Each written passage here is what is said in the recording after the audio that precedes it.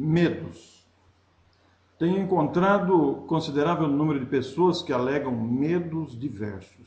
Medos que variam de preocupações naturais ou exageradas até aqueles provenientes de traumas causados também por diferentes origens.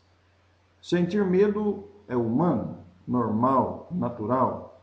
O problema está quando o medo extrapola os limites do bom senso ele, o medo, é muitas vezes necessário, pois nos preserva de perigos e constitui um mecanismo sábio do instinto de conservação. Mas quando ultrapassa os níveis estabelecidos pela natureza, torna-se perigoso inimigo. Sim, pois nos trava a potencialidade, paralisa as forças, gera doenças e provoca estragos consideráveis, especialmente na mente.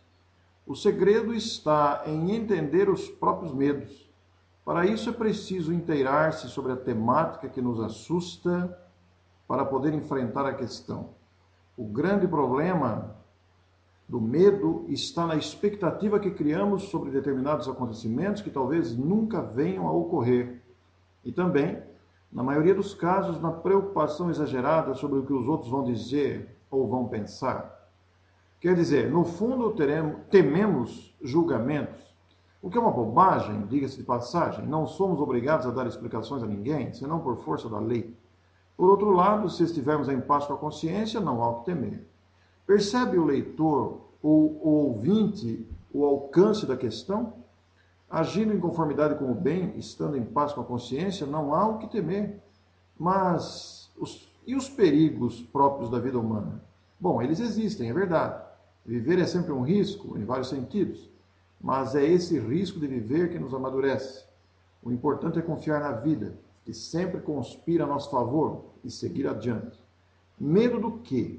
Da morte, de perdas financeiras, de altura, de chuva, da bala perdida, de assalto, de avião, de espíritos ou da perda de entes queridos? Qual ou quais são os nossos medos?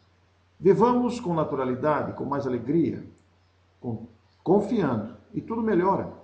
Valorizamos muito as expectativas sombrias, esquecendo-nos de que a sintonia com a alegria de viver, adotada por comportamento, altera os rumos dos acontecimentos, modifica o ambiente, os panoramas, influencia pessoas e é atitude saudável que faz bem à alma. Claro que nunca devemos esquecer a prudência nos gestos, decisões, comportamentos e atitudes, mas viver sem medo, claro, viver para aprender continuamente por isso, sempre que encontro pessoas que se declaram com medo disso ou daquilo, não tenho dúvidas. Sempre recomendo que leiam o livro Livre-se do Medo: Como Superar e Vencer Obstáculos, da doutora Lucy Atkinson, da editora Prumo, que o ouvinte vai encontrar nos sites de livrarias, que inclusive sugere exercícios de superação, apresenta bons exemplos e dicas, além de analisar também a velha questão da insegurança, outra forma de medo. Meu abraço ao ouvinte. Muito obrigado.